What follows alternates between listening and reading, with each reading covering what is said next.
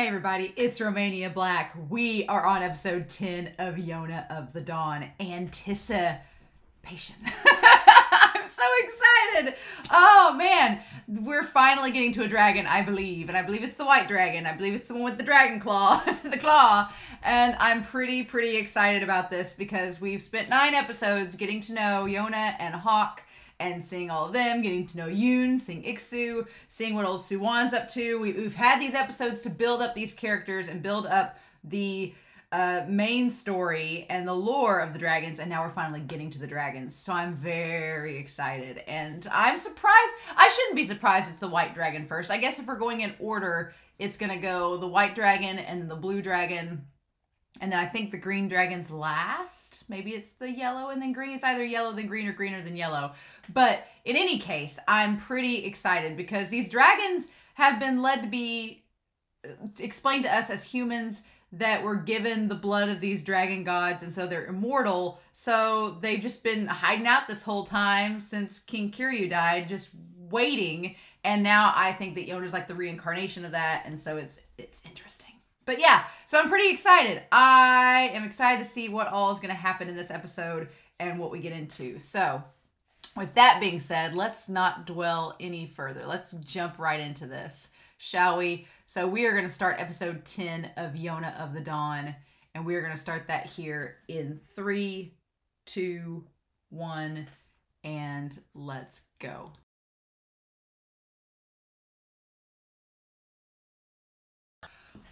My gosh, this episode was really good. this episode was really good. So, um, Gija, Gija the White Dragon. Oh my gosh. Okay, Gija. All right.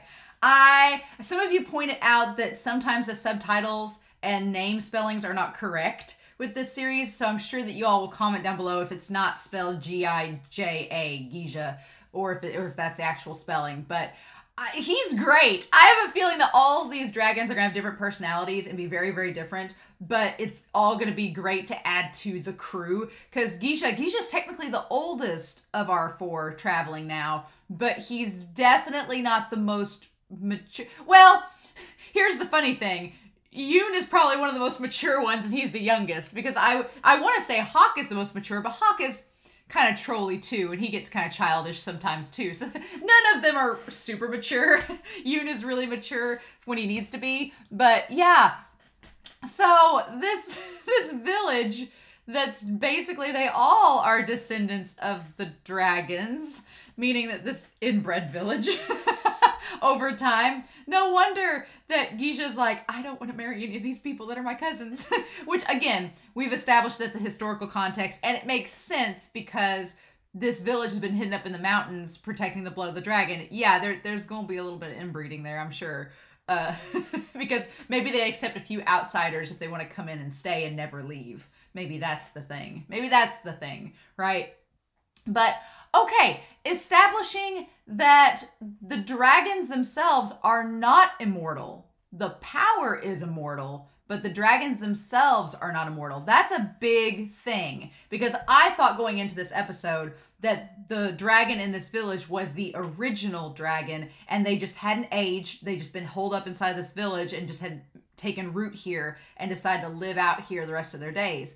It's not the case. Not the case at all. The case of it is actually that they are they're they're mortal they're humans and their power is immortal so they pass it on down to the next generation. So so that's kind of mm, but here's the thing too. He establishes that it doesn't have to be genetic. It'll pass on to someone regardless. So it doesn't have to be one of his kids. That's interesting. So it's going to pass down to someone that I guess as long as there is a blood relation to the dragon still alive, the power will pass on. So I guess what Gija was saying was that if he dies in battle, someone born in that village from someone that has the blood will inherit the power.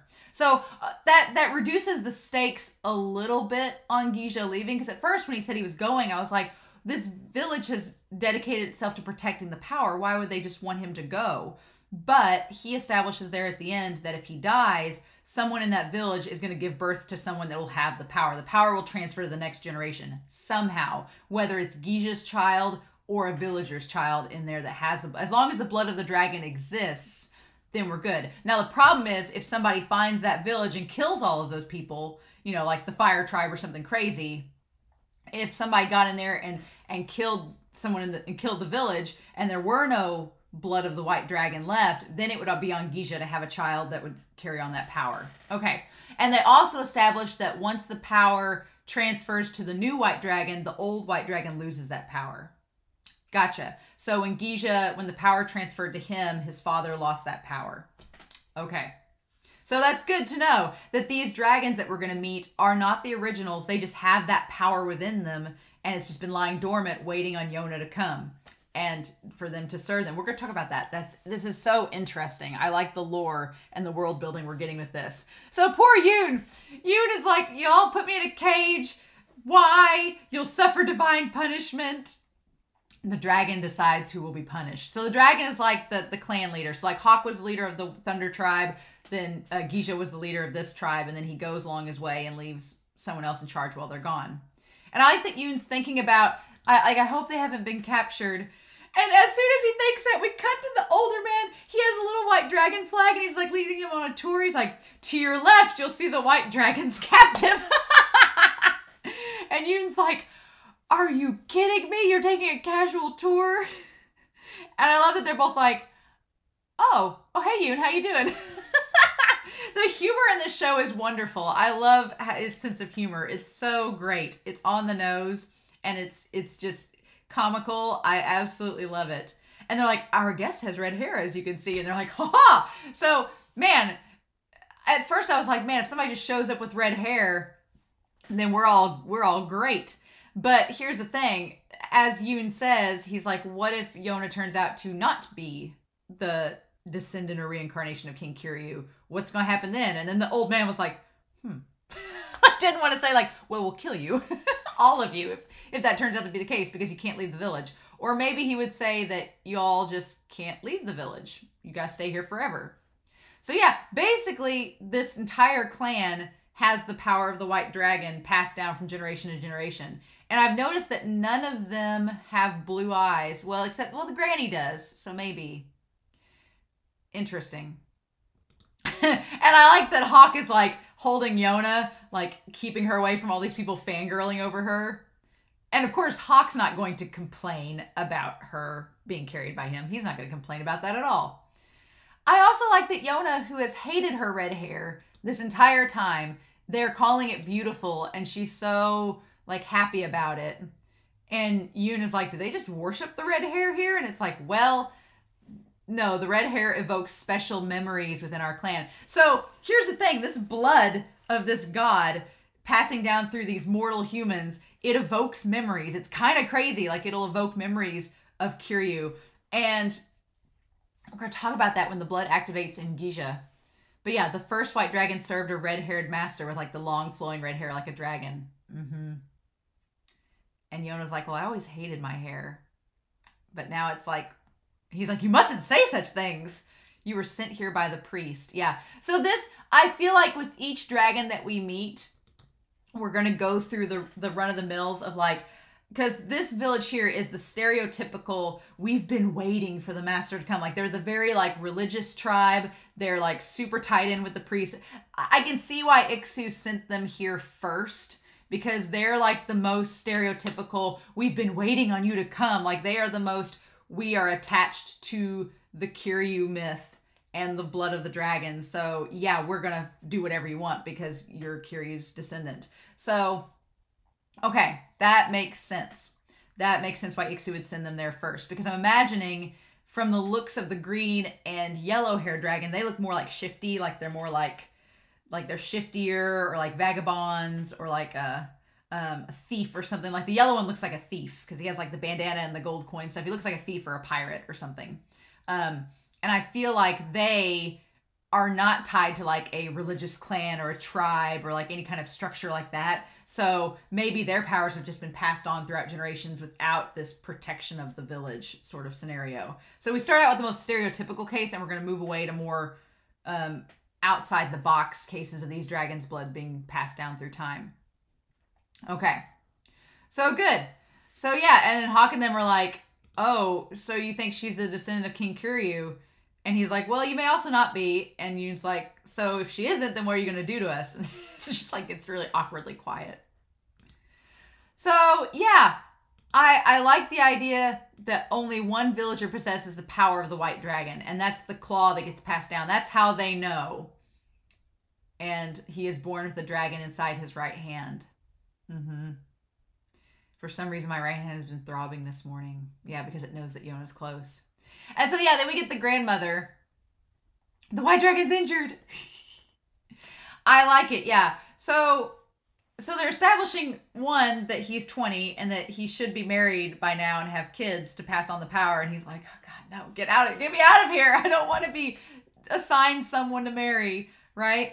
But he's also, I like that Gisha is dedicated to his tribe. He's dedicated to protecting them. But he, you could tell he kind of has like a yearning like Yoon. He wants to move out. He wants to go see the world. And when the granny says you possess the power of the gods, and there's like a throne room there. There's like like two thrones in the tree, but they're empty. And she's like, "You shine brighter than all the white dragons that came before you." And he's like, "But I feel impatient." That's what the anticipation is. Anticipating yeah. When am I supposed to use this power and for what purpose? So, yeah, he's spent his whole life in this village waiting to use that power. And they establish that the granny says, well, when the time comes, you'll use it for that person. And if it doesn't happen, then you're going to pass it on to someone else who's going to do the same thing. So it's possible this era doesn't need your power, but it needs to be there the next one after that. So yeah, this power's been passed on from generation to generation. You can see the dragon claw comes up to his elbow. Um, it she says that if you can't use this power in this generation, then the one who gets it from you in the future will use it to protect their masters where you perhaps could not. So yeah, it's and you and you can tell Geisha's like the next white dragon. He's like, uh, and she's like, you only need to stay in this village and not worry about anything. And that's what he's like so frustrated by. He's like, I'm gonna stay here my whole life waiting for this one person to come. And if they don't, then I'm just going to pass the power on down to the next person and die. Like, is that living, you know? We have this conversation in other anime. Like, is that is that living just waiting there for stuff to happen? But he you can tell he wants to go out and actually do things. And so lucky him, he's the generation. We also get a timeline established that it's been a thousand years. So it's been like generation after generation. And I love that Yona is presented as a red star that he's reaching out to grab. I want to meet the master who needs me soon. And I wonder if that's like the blood in his hand, sensing that she's near, like causing that desire. Interesting. But yeah, I like this idea of this power being passed on. Mm-hmm. And then yeah, the, then the granny's like, "You should have a wife by now," and he's like, "Get me out of here! I don't, I don't want to listen to this. I don't want to listen to this at all." Are there no girls in this village that you like? And he's like, Please, master, come and save me. So, yeah, so uh, in this, he see he hears the villagers and he gets mad because nobody told him about the outsiders coming and he thinks that they're a threat. So he's like, Well, we need to get rid of them to protect the village. And she's like, Oh, well, there's a cute girl among them, and apparently everything's okay. And he's like, having none of it. Nobody told him about anything. And so he changes his clothes, and when he does, we see he has four claw marks on his back, like like like a like a dragon claw. So I wonder, I wonder if that's how the dad transferred the power to him through the claw mark, or if there's something else that's happened. It looks like a claw mark, like from a beast. So, but he's never left the village, so that's interesting. He's like, we have to be careful of female assassins. I'm like, well, Yona could be dangerous, you know. And then he's like, at least let me use my power to protect this village. Mmm, I like it. So yeah, Yoon is impatient, and then Hak and Yona are just piecing out. And I don't know why she has her hood up. I guess to make the reveal more dramatic whenever Gisha sees her. So yeah, when a child is born with the power of the white dragon, the dragon's blood disappears from the previous one. Yeah, and then there's this long bloodline that has to be maintained until the power is needed. But apparently, according to Gisha, if he dies, it's still going to transfer on to someone else. So, hmm. And then, yeah, Yona saying, she's like, they've spent a thousand years cultivating this power and saving it. And she's like, I'm just going to waltz in and take it. And then Hak's like, well, should we give up? And she's like, no. oh, and I love that sunlight. And I love that she's like, lend me your sword And she has that little blade. So I'm wondering, like, did he get that little blade for her and he's just been holding it on him? Hmm. And she's like, well, if the white dragon won't help us, we'll just have to train more. And you can tell Hak's like, okay, I, I'm up for more training sessions. Hak's like, you don't have to tell me twice. And then, yeah, Guiche's all brave and bold because the hood's up and he's going to just throw out these scoundrels. And I like that she uses that word again. And he's like, I'm going to tear you apart with my claws. Ooh. And then when she turns around, the dramatic reveal of the hair. Uh huh. Uh huh. We did it all for dramatic effect. and that's when he sees it. And that's when the dragon claw reacts. The blood reacts. Oh, and it gets bigger. Ooh. Ooh. Yeah, and so then this this dragon, you are now our other halves. Ooh. Yeah. You will serve Hiryu as your master, protecting him with your lives. It's the it's the the contract that was made with the original ones. You will love him and never betray him. Oh, oh my gosh. And she's like, "What?" So yeah, so there's an an element of this. This is the person I've longed for. So there's an element of this that is kind of beyond their control. Like they can't control it. It the dragon blood inside of them is like, "No, you're going to protect her no matter what." And love her and everything. And they can't control it. So so it's kind of it's kind of scary because these are mortals, these are humans, but because they have this dragon blood in them, they can't control that they want to be around her. It's kind of outside of their control. So that's interesting. The blood of the white dragon. Yeah. You'll see a dazzling light. And that's when you must depart. Mm-hmm. And I like they used Yoon's uh, bag as a pillow. I like that they used that for him. Uh-huh. And then yeah, oh the dragon like claw was on fire. That's crazy. Like the blood, he said the blood was boiling inside of him. That's uh crazy. Crazy talk. Uh-huh. And then he says that he tells his father that it's time. Yeah, all these generations have protected the blood just for him to be able to use it now. And he's so grateful and happy to see her. It, it's crazy because we don't know how much of this is the dragon inside of them being happy and how much of this is actually them being happy. So that's kind of disturbing in a sense because they don't have a lot of control over themselves necessarily. So interesting. Interesting indeed. Yeah, and these people are just like basically worshiping her, which is crazy. And Hak's like, hmm. and yeah, Guiche's just enamored with her because that's it's like a beacon, right? She's like a beacon to them. They think you're the king um, because you have red hair. And it's like, well, I'm actually thinking you're the descendant of so there's probably more to that. Mm-hmm. And then they tell him the name, Yona, and the blood inside of me says to protect you. Yeah. So it's like whether Guiche wants to do it or not, the blood's going to make him do it. So that's interesting. I'm wondering if there's going to be any of the four because Guiche like immediately is like, "Yep, time to go, ready to get out of this village, ready to go do the thing. I'll protect you. Let's do it." But I'm wondering if any of these other three dragons are going to try to resist and be like, I don't want to do this. I, I feel like if any of them, it's going to be the green haired dragon that's going to be like, I don't want to go with you, but can't help it. So that's interesting.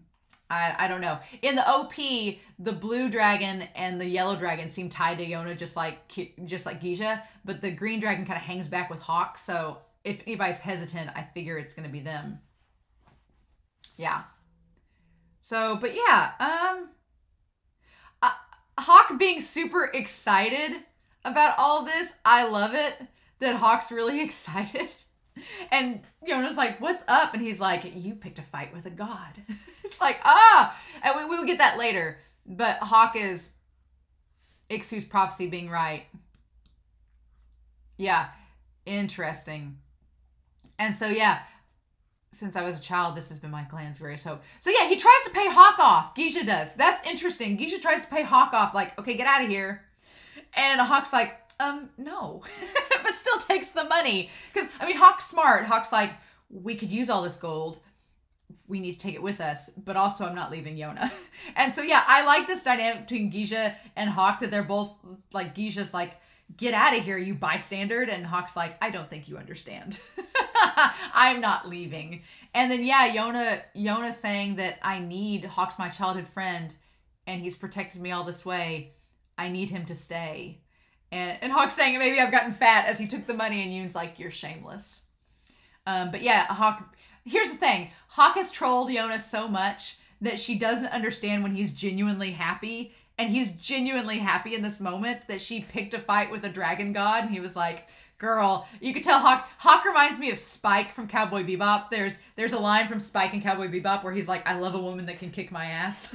I feel like Hak is in the same boat as Spike. He's like, I, he likes strong, assertive women. And when Yona gets like that, he's like, mm-hmm, all about it. So I love it though. I love that that we established that that Hak and Geisha just don't have a good relationship and he's like calling Geisha a snake. I love it. I absolutely love it. And Yoon, Yoon saying, this is going to be a pain. Yoon, Yoon is like, I'm going to have to babysit all of you, and I'm the youngest one here. it's great. So then, of course, we have a feast. We have a cultural feast because it's, you have a tribe that are super like into special cultural rituals. Why not? Sure thing. They got lots of food here, and Hak's like, aha. Hak looks so bored. But then you see like them talking and Gisha getting so excited. It's it's great. And then of course the granny. Up until now, I've raised four dragons, so she's pretty old. She reminds me of my great grandmother, which is great. And but she's imagined this day when he would leave. And then she gets all sad though at the end because he is going. And they're all you can tell that the village is sad because they've all been preparing for this day but then once it comes they're like uh and this was so tender like the little send off where he's like leaves them in charge to protect the village and keep them safe. And oh and then the granny tries to send him off with all the, the blankets and a woman and he's like no. It's so sweet. And then him hugging the grandmother that's so cute. Like i love that moment. I love it. But him like her saying that I want you to come back and I'll be the one here greeting you. It's like uh, it reminds me like Hak's grandfather saying that he'll be there when he comes back too. It's like all these people are seeing these characters off and wishing them the best of luck, but then saying that they'll be there when they come back, and it's like I, I want Gisha to go back and see this granny. I want him to go back and see her. I want her to be there when he comes home. Like I uh, I know that this extends beyond the anime into the manga, and I want to read into the manga, but I want him to see her again. Like that's just. And then like the light shining, and he touches her hand with his human hand and hugs her, and saying he spent more time with her than his parents. It's so sweet. It's so sweet. The, the hug reminded me when Iksu hugged uh, Yoon. It's that same vibe, that same vibe of that hug. It's so sweet and wholesome, and I love it. I love it. It's so good. Yeah. And then the granny's like, I've got tons of time left to live. And so, yeah, so when they all took off together, I was like, okay, now what are they going to do now? Because the priest led him to find the first dragon. But that's good. Here's the thing, too.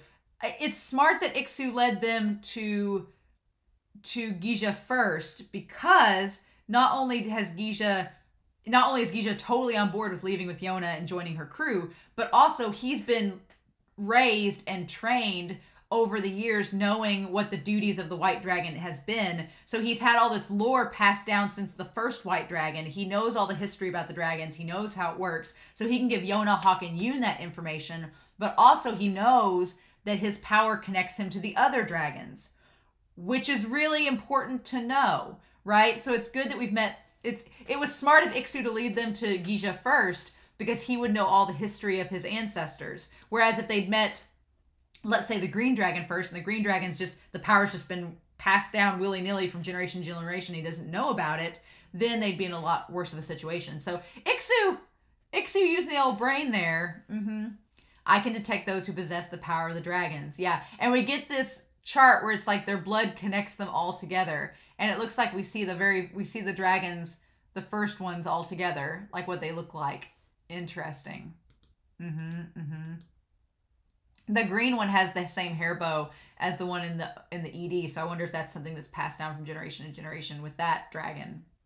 I don't know. I like that Yoon got all emotional about leaving because he would because he had the same you know farewell with Iksu, so he was crying and Hak's like, "Why is your eyes red?" It's like, leave him alone, Hak. He's been crying this whole time. Can't you tell? Oh, I just I love it. I love it. And then Gisha saying, I've never met them though, but he has that smile on his face, like like there's like a kindred spirit there. And there is. The funny thing is, the thing that's crazy about it is again, we don't know how much of this is the dragon blood tying them all together and how much of it is them as humans. So that's what's interesting. That's what's interesting. And then yeah, Yona, how convenient.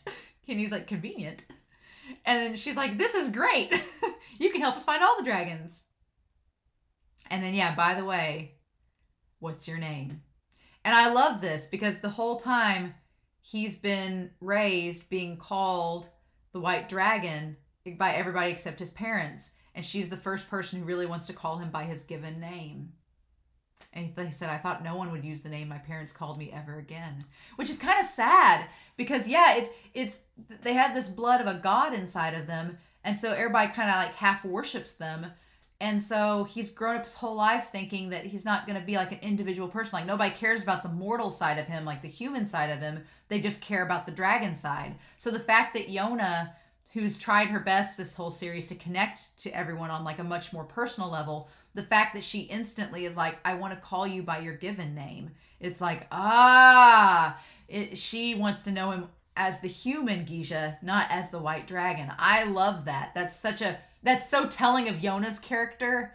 And then obviously he's going to respect that even more because she's recognizing him as a human and as a white dragon.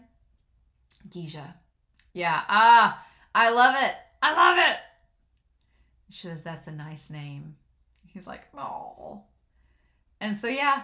Oh, this is great. This is so great. I love it. I love this episode. It's wonderful. So yeah, we've met Gisha, the white dragon. He's great. I'm I'm excited for him and Hak's banter. I have a feeling that Gisha is like gonna, especially after she called him Gisha by his name, he is gonna be all about her and like on the Yona train, which is gonna just fluster Hak to no extreme. So I'm I'm really excited to see their banter back and forth, to see Yoon have to babysit all of them, and to see Yona and to meet the other dragons. So yeah, I I want to see his claw power in action. I want to see that too. But I'm so excited, y'all, because we're finally getting into these characters proper and slowly meeting them and getting more into the lore and the idea of how the dragon blood works and how the mythology goes. It's all it's all exciting. I I am all about it. So that's so great. But yeah, so I'm curious to know your thoughts down below, what you think of Gisha, what you thought of this episode. Um, obviously no spoilers, but I I really liked this episode. This was this was great. But yeah, so I, I'm excited to see next episode with Gisha joining the crew, how he's to impact the dynamic. I'm really excited to see that, but we shall see, won't we? So in the meantime, I hope y'all have a wonderful week. Please stay safe, take care, and yeah, I'll be back next week with episode 11 of Yona of the Dawn. Bye.